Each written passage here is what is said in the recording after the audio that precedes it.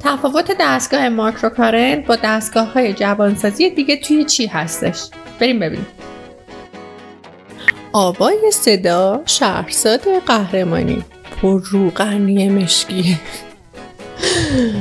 خب امروز تصمیم گرفتم که در رابطه با دستگاه مایکروکارنت صحبت بکنم و تفاوتش با دستگاه دیگه مثل دستگاه هایفو یا RF که خیلیاتون سوال پرسیده بودیم دستگاه مایکروکارنت یه دستگاه غیر تهاجمی هستش و هیچ عوارض جانبی نداره و همینطور درد هم نداره.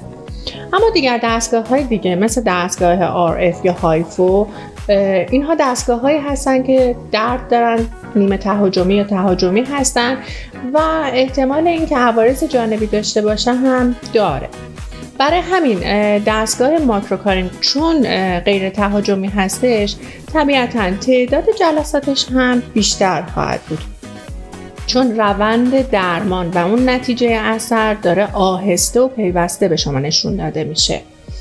و یه تفاوت دیگه ای که داره دستگاه های دیگه روی کلاژن پوست شما داره اثر می‌ذاره اما دستگاه ماکروکارنت داره روی عضلات پوست شما اثر می‌ذاره.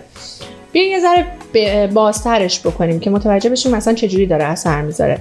امواج الکترومغناطیسی که داره این دستگاه ماکروکارنت وارد سلول های پوستی شما میشه و تحریک می‌کنه باعث لیفت طبیعی صورت شما میشه. برای همین نتیجه دهی فوق به صورت طبیعی داره.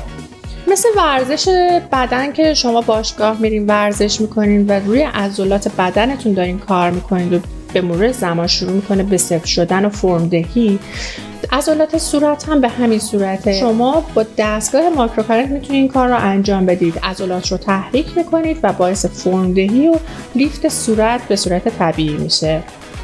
برای تعیین وقت با شماره که تو قسمت بیو هست می‌تونید تماس بگیرید.